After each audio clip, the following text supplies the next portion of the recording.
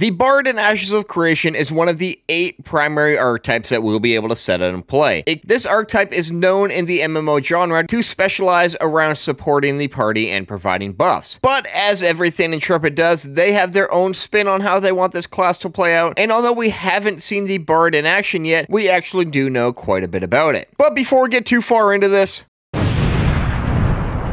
I want to talk to you guys about the Extra Life livestream Intrepid is doing. As you've probably heard, this Saturday, Intrepid will be doing their annual 24 hour livestream to raise money for the Children's Miracle Network hospitals motorcycle. So in order to help raise even more money for this great cause, I have put together a team of excellent Ashes of Creation content creators to help. Vlhadus Gaming, SticQeno, Roarrior, and Xillin will be joining me under the name of Ashes of Donation to raise money towards this cause. So if you want to donate, the link is in the description below to help us raise as much money as we possibly can.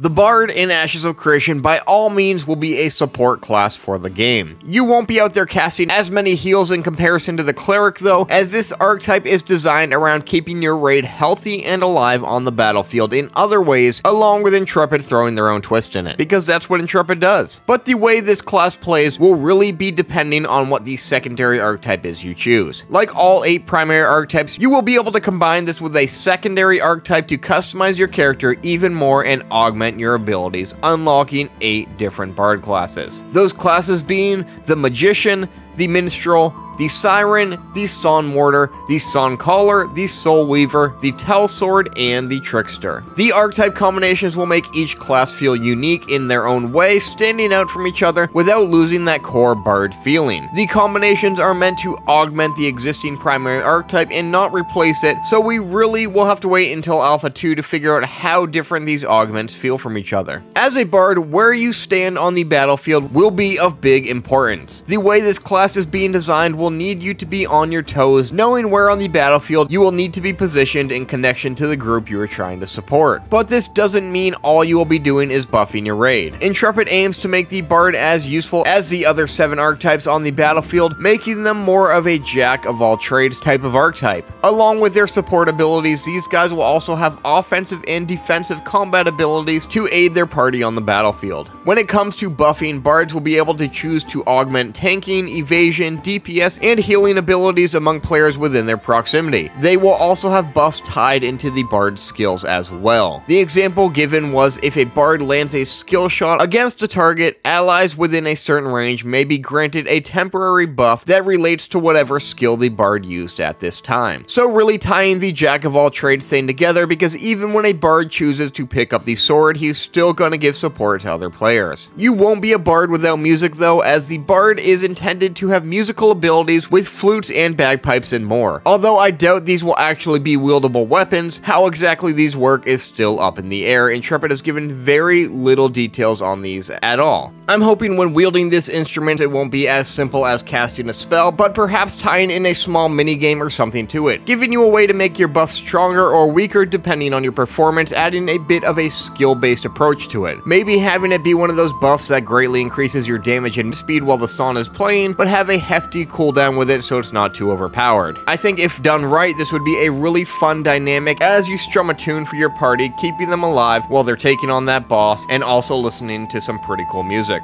Unfortunately though, I think the Bard is probably going to be the very last archetype that we get to see in the game. Although he is said to be in Alpha 2, we know the next combat reveal is going to be taking us back to the Cleric support role, giving us an updated look at this Alpha 1 class. The Bard, on the other hand, is one of those classes that is probably going to take a lot more effort when it comes to getting down right for the players to actually enjoy, so it's probably something that we'll see a bit down the road, and I honestly wouldn't be surprised if it's not even in the launch of Alpha 2 and something they add further into testing.